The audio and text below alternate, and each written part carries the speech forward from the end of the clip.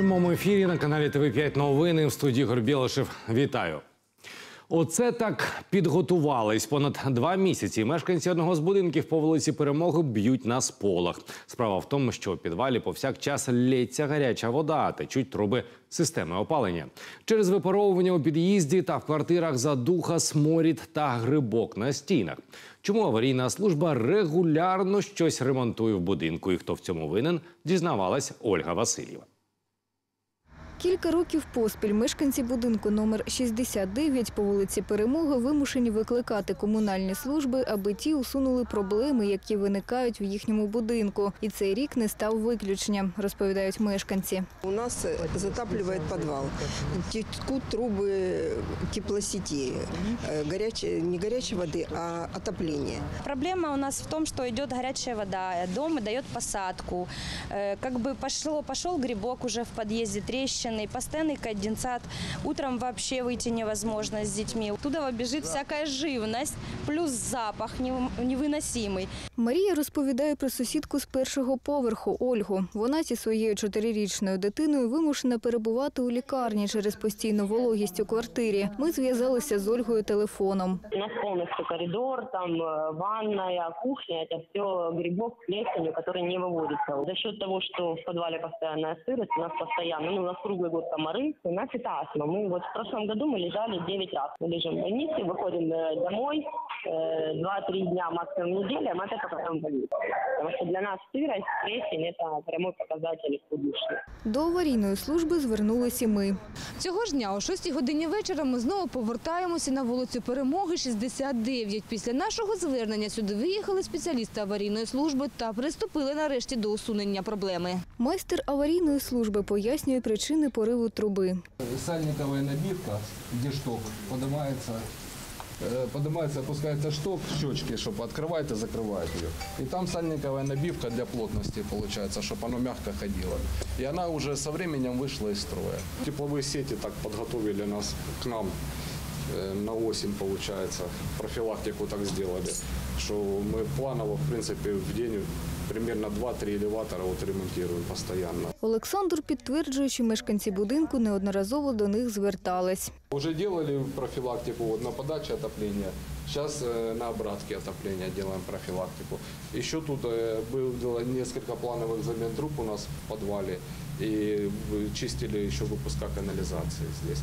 То есть тут вызова как бы ну, неоднократно приходили с этого адреса. Євгенія Маловік, Ольга Васильєва, Павло Полушко, ТВ 5 в очікуванні державного бюджету на порядку денному чергової сесії Запорізької обласної ради було більше 80 питань. Серед них кадрові, господарчі, соціальні та звернення до центральних органів влади. Та основне ухвалення головного фінансового документу області на наступний рік. За ходом сесії слідкувала Юлія Пасько. Сесійний день у Запорізькій облраді починається з пікету. У залі зібралися десятки працівників з Запорізького заводу високовольтної апаратури. Кажуть, вже півтора року не отримують заробітну плату. Борги сягають близько 15 мільйонів гривень. Людям жити не на що. У всіх є діти, внуки. Кушать хочется. Были вы, э, сделаны перечисления в пенсионный фонд, но деньги в пенсионный фонд не поступили. Люди остались без пенсии, без начислений, без трудового стажа. Мы обращались во все органы, пишем, стучим во все двери. Это уже просто последний, наверное, крик, чтобы нам помогли. У відповідь на прохання людей обласна влада пообіцяла звернутися до правоохоронних та контролюючих органів. Обласна рада буде тримати на контролі розгляд цієї проблеми і вирішення цієї проблеми для людей. На порядку денному більше 80 питань. У залі присутні 70 депутатів. На початку засідання виступи голів фракцій. Мова йде й про звернення до центральних органів влади. Треба підвищити компенсації запоріжцям за паливо. Реальна вартість вугілля та газу зросла, а субсидії ні. Окрім цього, депутати облради звернулися до Кабміну з проханням призупинити на 4 роки дію наказу щодо реформ у службі швидкої. З 1 листопада скасовано професію фельдшер медицини з невідкладних станів. Замість неї вводиться така посада, як парамедик. посада так екстрений медтехнік, інструктор з надання догоспітальної допомоги та інше. Кожен розуміє, е, що завдання е, медиків швидкої як якомога швидше прибути на місце виклику і надати допомогу на високому професійному рівні. І лише при е, необхідності доставити пацієнта в лікарні, а не просто виконати роботу таксі, як того пропонує наша реформа. Далі кадрові питання. Депутати призначили нових керівників восьми комунальних установ.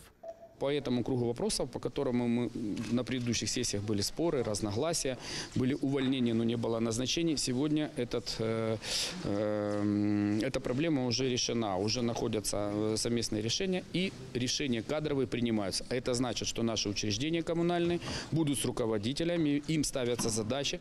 Головне питання сесії – формування бюджету області на 2018 рік, який складе більше 10 мільярдів гривень. Це майже на 30% більше, ніж цього року. Попри те, що державний бюджет ще не затверджений, депутати облради вже передбачили кошти на виплату заробітної плати працівникам комунальних установ регіону та комунальні платежі. Більше півтора мільярда передбачено на сферу охорони здоров'я, 1,3 – на освіту та близько 300 мільйонів на соціальний захист. Серед проблемних питань наступного року 20 закладів освіти можуть фінансуватися не з державного бюджету, як зараз, а з місцевого.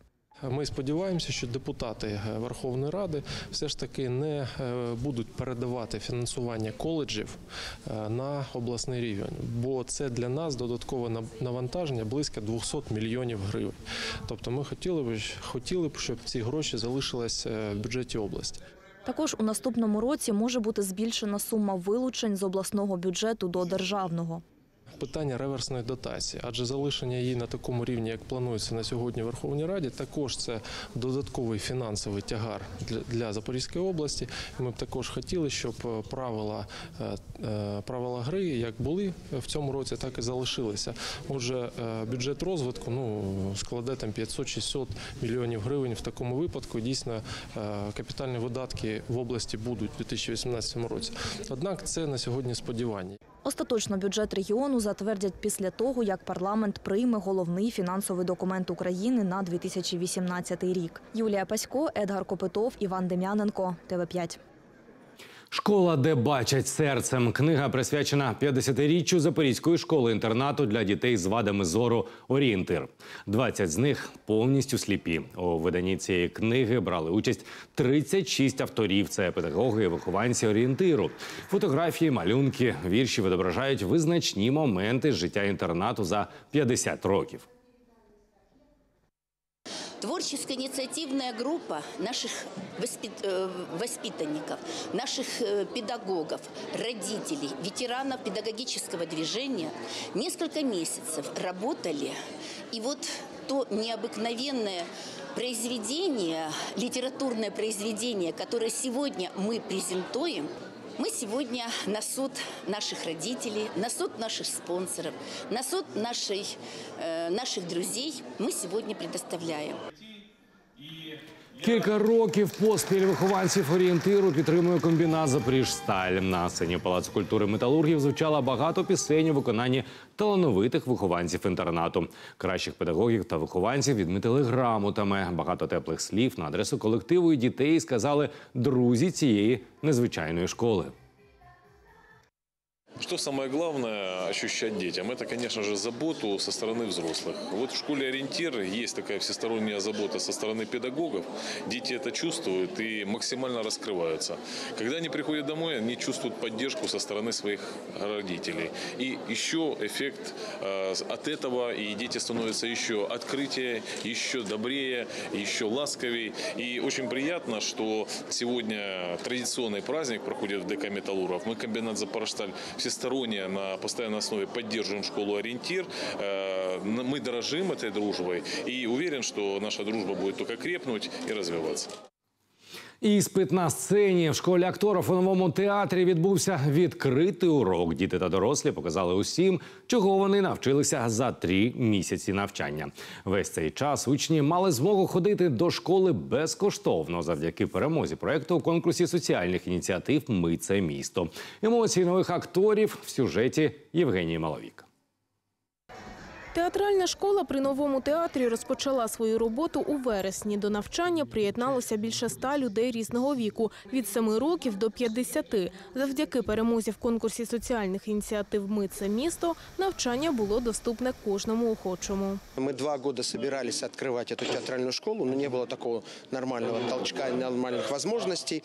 Но благодаря этому проекту мы смогли три месяца бесплатно проводить это обучение, потому что мы арендовали один самых большую сцену э, в городе Запорожье. У нас э, два учебных класса вот, и, и больше ста учащихся. И это три месяца были занятия. У театральній школі діти та дорослі пізнають всі тонкощі пластики та вокалу, вчаться взаємодіяти зі сценою. На першому відкритому уроці учні театральної школи показали журі та родичам, чому вони навчилися. Что-то уже э, дети, будущие актеры научились делать на сцене. Мы хотим на них посмотреть для того, чтобы потом скорректировать свою программу, и мы будем заниматься с ними дальше. В перспективе у нас выпуск спектакля, в который будут участвовать э, все наши воспитанники. Майбутні актори показували невеличкі етюди та співали. Від навчання вони у захваті. Ну, больше всего мне нравятся танцы. Ну и, и ещё- ну, а по воскресеньям мы делаем сценки. Это больше всего мне нравится еще. Мне хочется стать актером, когда я вырасту. Поэтому я хочу и дальше ходить в эту школу. У театральній школі панує дружня творча атмосфера. Учні вболівають одне за одного. Кажуть, стали вже справжніми друзями. Тут э, классно, потому что хорошие учителя, и хотим мы еще больше развиваться в актерском мастерстве. Да, здесь хорошо преподают вокал, нас тут учат. И тут много друзей хороших, тут хорошие преподаватели, нас хорошо учат. Ну, тут нравится. Хороший коллектив. Навчання у театральній школі продовжуватиметься й надалі. Очень важно помогать именно вот таким программам, поскольку это будущее наших сцен, это будущее нашего государства. И театралы, в общем-то, они несут на э, передовой, если можно так сказать, э, культуру в массы. Поэтому будем надеяться, что из этих 100 ребят хотя бы 60 выйдут на сцену, ну, уже профессиональных театрах. Євгенія Маловік, Ігор Бахіркін, ТВ5. Дивіться продовження нового драматичного серіалу Селище Янголів одразу після випуску новин на ТВ 5 Це була остання інформація випуску. Більше новин на нашому сайті tv5.zp.ua. В Студії працював Ігор Білоше. Побачимося о 17.00.